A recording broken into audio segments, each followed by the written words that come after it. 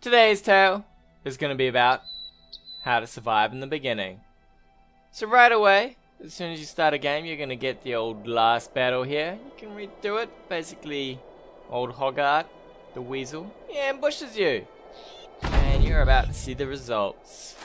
So uh, you have a couple of brothers, and now you have a couple less. You got your old Captain Bernard here, he goes in, and he is gonna meet his doom. So generally you always start off with uh, one guy with a crossbow, one guy with an axe, and one guy with a spear and shield. And you're gonna wanna get rid of old Hoggart here. He's in the back, and he is gonna run. So you're gonna wanna try and get rid of anyone without shields because you actually do damage against them.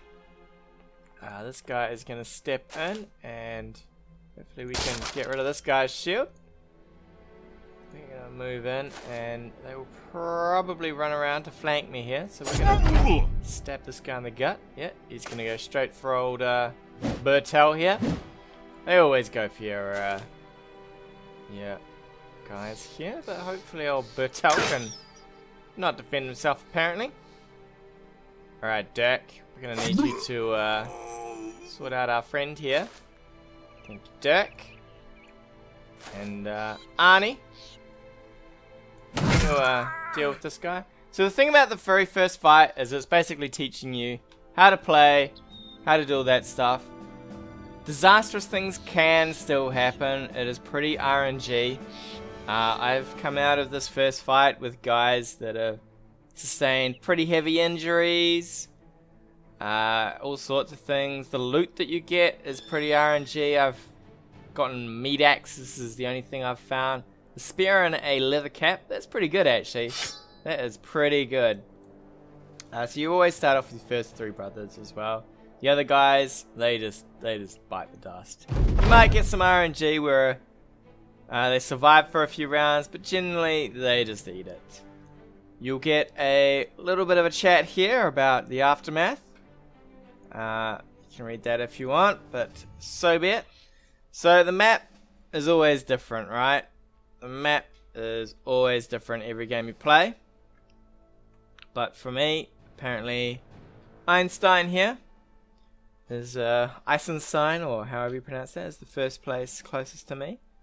So you're going to have a quest objective here uh, return to Eisenstein to get paid. So you're going to return and you get paid 400 off the top of my head. Pretty sure. We're going to have an argument with the guy here about whether we get paid and then he'll decide to pay us. Alright. Apparently we were a sorry display as well when we turn up to the city. So we expect to get paid for this. Uh, 400 crowns as agreed upon. Alright, and oh, sorry, you have two options. You can either go after Hoggart, or you can decide, stuff that, I'll do my own thing. I normally go after Hoggart because you get paid a bit more, you know what you're fighting, all that sort of stuff. Uh, and that's what we should do. Alright, so straight after all that chit chat, you have a mission to pick up three guys and to visit a settlement. So what I do is, it tells you to, I'll show you what it tells you. So it says visit whatever. It'll tell you to visit a settlement. My one is visit Brockdorf here, west of Eisenstein. And it's going to tell you to recruit three men and basically come back, buy some weapons, do your thing. Sometimes the town it tells you to go to will be decent, other times it's going to be a hovel. The thing is, is if you look around the map before you start traveling, you can see that there's slightly bigger and slightly better places around. Uh, so Tromwatch, can't pronounce that one at all, and uh, Brunwald. Brunwald's a bit too far. Brookdorf is probably good. Tromwell would be good, but it is a little awkward there with the terrain. So what I'm going to do is I'm going to check what dudes I can get from Eisenstein, which is where we are currently positioned. So I've got a decent choice here actually. Butcher, he'd be alright. Miner, maybe not. I could take bigger for just just the meat, really. The bigger's not the greatest. They are really dirt cheap, though. The old day trader, he's pretty cheap. So the thing you've got to be careful of is So we've got 2,400 gold, right? And you're going to want to build up your mercenary company as best you can, knowing you're going to fight probably about four or five guys in the next battle. So we want enough people on the front line that if we take a few hits and losses here, it's not going to matter too much. The brothers we start off with, they're pretty alright geared. I mean, they normally come with gambeson, the old padded here. The archer, he gets a light crossbow. He's pretty alright. We will throw the full leather cap on this guy though. So, we're going to want to build an army out of these guys. We're also going to want to look for cheap equipment for them, which comes from the marketplace. So we have a look in this marketplace. You can see they don't have the greatest selection. We're looking for spears, shields, anything that we can give to new brothers that's going to help them out. So maybe a pitchfork, but probably not. We really want spears and shields. So we're going to leave here. We're going to hope that Brookdorf has something. We know that Eisenstein at least has people for us. So we know that it at least has a couple of people that'll be good for us. So if we can get equipment from here, we can buy the brothers from here. Alternatively, if we find there's better brothers here and equipment, we can maybe pick up both. Not really required. We're gonna speed up a little here, just while we run through the marsh. You're gonna get a conversation from your one of your guys as you come into sight. Basically says the city appears on the horizon. Tells you that you know you might want to visit the tavern. You might want to check out how many people are there. You might want to check out the weapons. This place, man, I wouldn't want to live in this place. It looks horrible. Alright, so we're going to check out who we can hire here. So we can see we can hire another day trader. What do you, sir? Poacher. Poacher would be alright, but he's pretty expensive. He does come with his bow, though. Uh, we got a militiaman. He's got a spear and a thing there. And we've got a thief, which, yeah, thief's it's pretty expensive.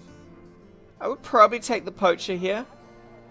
Uh, he comes with his own bow and arrow, which is good. He is also going to have fairly decent background, so I don't even need to equip that guy. So we'll stick him in the back here. That'll force that'll force the next fight to come to us. And then we are gonna probably just want to look at equipment because we know that the guys over there are reasonable. So we have a pretty cheap spear here. We have a shield. Do you have a buckler? And we are going to be forced to pick up the other cheap equipment over there. Alright, so that's that's pretty alright. It's not the greatest of starts. Not the greatest, so we don't really want to hire anyone else here. We will we will head back to Eisenstein. So what happens is you can pick up the three recruits anywhere. It says pick them up from. Brookdorf? But I'm going to ignore that because I don't really want to pick up all the people from Brookdorf. I want to pick up the cheap recruits from Eisenstein. And I only care about the weapons. I only look want to look for cheap weapons. Over in Trumok, I could have gone down here. Could have happily have gone down there. We do have to keep an eye on costs. We are coming up for dusk. Alright, that is unfortunate timing. We will have to camp here and wait out. I could have gone down here to see if they have better men. But what I really want is just cheap equipment. Cheap, cheap, nasty equipment. So, from here, we're going to hire our, the last of our party members. We at least want three. I would recommend a little bit more than that. We will take... Two pitchforks is not great. Not great at all, but... It is probably what we're going to end up with. Unfortunately. Uh, yeah, that is a bit of a bummer. Right, so we'll pick up our two lads here. So, I kind of like the Masons because you get uh, things like extra experience on them and so on. He's not too expensive. Beggars, cheap fodder, yeah. Uh, Roughhand. Old butchers are alright, they get a bit more health. So what we're going to do is we're going to hire you, sir, and you, sir, and we're going to probably take on a day trader here. Alright, and now we're just going to want to arm them. So we're going to give out two pitchforks and the Shielding Spear. So, this guy here, he starts with an axe. And you're like, yeah, the axe, it does heaps of damage. The thing is, is when you're starting out, your brothers are pretty trashed here, right? We're talking, uh, talking low down here. Alright, actually what we're gonna do is, you, sir, not gonna get, you, sir, better. Give you that, you hop on the back. Uh, you, sir, get that, because I like you. Um, so as I was saying, the axe, you want to kind of get rid of it as fast as you can. So I might actually take this guy off the front line. Might give him that. And then we can arrange our troops a bit better here. So. Whoops. No, you're supposed to have that. You, sir, are supposed to have this. Can I not have a better shield here? Uh, you can have the buckler, my friend. So there's two things to keep in mind here. Is how long are people going to survive for? And who do you really want to keep? So I don't have enough armor to make these guys good. This guy shouldn't take any damage, I hope. So he can have that. Is the Butcher's Apron better than your thing? It is. So you're just trying to minimize and maximize what little equipment you can afford, right? How much money have we got? We actually got a bit left. We might hire on another another brother. So you're gonna take a lot of losses at the start, right? That's not what I wanted. So we could pick up old Volkir the miner here. Or we could pick up Hansen. We'll probably pick up the miner. Since he does come with a pickaxe. We are unfortunately down. Oh, we could give him buckler. Might keep the old pickaxe. I would prefer a spear, but I don't have any spears. So the other thing, once you've armed you guys, just give them some cheap armor. The thick tunics are a little bit better than, a uh, little bit better than the other stuff. The hats, the straw hats, they're actually okay. I mean, look, a straw hat versus a hood, it's better than getting poked in the eye, right? Better than getting poked in the eye. So you sir, he's got like his little mouthpiece here. No, thank you. So you're on the front line, you can have that, sir. You're on the front line, you can have that, sir. Uh, has anyone got anything decent? Leather? Nope. Alright, you sir can probably get this. You've got a sack on, so you can get upgraded. Uh, we will give out the rest of the gear here. So you sir on the front line can have that, which will give you that. And then the rest of the lads at the back, they can Really just get a mix of whatever's left over. Put you over here. Woo, that's not what I wanted. You, sir. I want you to have a weapon. There we go. So there we go, straight off, you know, we've got seven people, eight people. You're probably going to take a fair beating though. Because the selection of items that you get starts not great. And your brother's not great. So once you've geared up, once you've got everything, you can just say leave. You'll get a next quest line, which is your unfinished business here. And they'll tell you where Hoggart is. And you just get a little mark on the map. So you've got your little marker here. So we're going to pause for a sec. Okay, it's dawn now. So we're going to want to take this fight in daylight, which is dawn till dusk basically.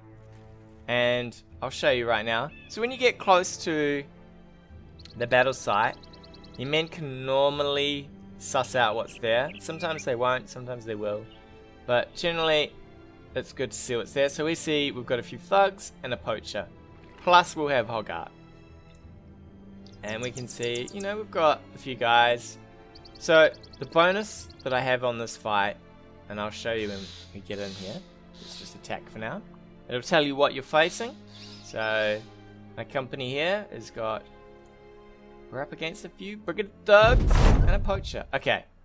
So, this fight normally always has one ranged guy.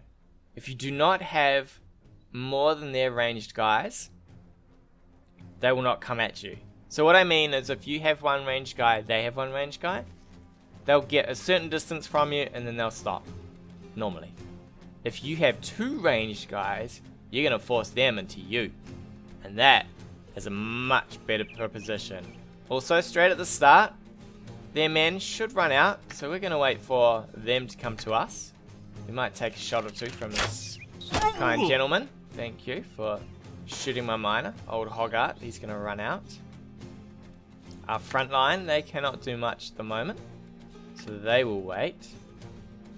And as I said, the lads come right on into you. So this guy here, he's gonna he's gonna spread wide. And I'll show you the reason for this in a second. Aha.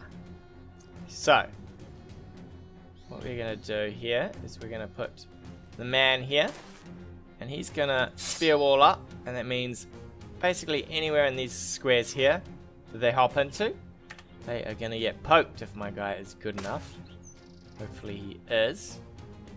Alright, you sir.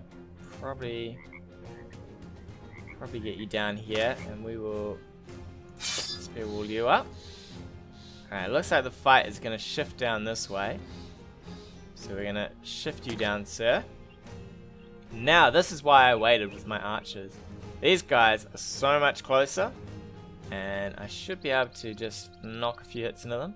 Generally I go for the guys without the shields, and miss, apparently.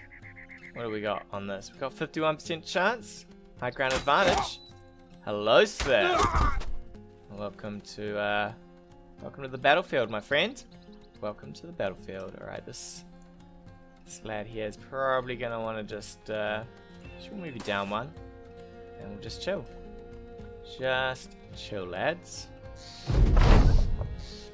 Alright, hopefully this guy can relax. You sir relax. And we do get the advantage of shooting on them before they get in, which is nice. Alright, Hoggart, he's coming in. He is coming in. What do we got? 42? We'll take the 42. Look at that. Look at that. That man is on his last legs. Alright, bucklers don't give you any shield wall, so I fear that this guy's going to go straight for him. Oh, yeah, he sure did. He sure did. Hopefully this man comes at us. He's not gonna. Alright, sir. You can dilly-dally all you like back there. For, uh... We'll dispatch your companions. Alright. Then you can just shunt up the shield wall. And we won't move in there. Might just uh, might just shield wall up here and wait to see if they come in. Hopefully they do. Hopefully they do. We're gonna get this man around here. Help uh, on the old defense in the center. And uh, our miner here, he might start going for the old flank. Hopefully we can get around on this guy. Two lads, you just wait. Uh, just wait there for now. We will wedge another shot into Hoggart here. Could actually start firing on the old uh, archer here. Alright. We're going to just run at him. Just to distract him a little. Alright. And that is why you shield wall. Because now this sir is a bleeding. He's hurt. Well, actually, my lad is hurt, but that's alright. And now, we can just start poking away at him. Old Hoggart's down. He's firing in. Probably this boy is gonna come in at us. Right, we don't have much of a chance on him. So we'll fire on this poor lad here. He's trying his best, he's trying his best, but uh, his best is not gonna be good enough. Alright, you wait your turn, lad. So, I wait my turn if I can surround, because you can get a better chance to hit here. Hopefully we can deal with this man. You sir, we're to probably rush you forward. And you sir, will rush you forward. You might run. You might not. Alright, Uh, you don't quite want to go that far forward. Yeah, that'll do. That'll do. Let's see if uh, uh, you can't quite get a shot in. Get about here and shoot at him though. Bam! Hello, sir. Pierced your arm muscle. That's no good for you, my lad. Uh, do want to get on this fight, but... Alright, so you're gonna get in and try your best. You will probably take a hit. It might kill you. Might not. If you survive, you're uh, welcome to the party. Oop. Did try. Did try. Uh, we'll ease up with the archer there. He probably doesn't need to join the party. And then we're just going to rush these lads in. And hopefully them. And thus, we've started. So, this is on Veteran. It's not too bad. You know, it's not too bad. Look for the loot. This is actually a really good start. Uh, shame this isn't my actual game. Instead of a uh, tips and tricks. Holy shit. So, um, from the first fight, Hoggart, he's generally got patched mail, so if you're lucky you can get that. You can get things like the shields, uh, the felt shield and the short sword. Wow, those are good. Uh, we actually gained some fair bit of food and ammo and everything. Man, that was a good old fight. And then all that's left is uh, to return. So you get another little cutscene where it says Hoggart lies dead in a pool of his own blood. And then all you have to do is go get paid. And they pay you another 300, 400? What are we going to get paid here?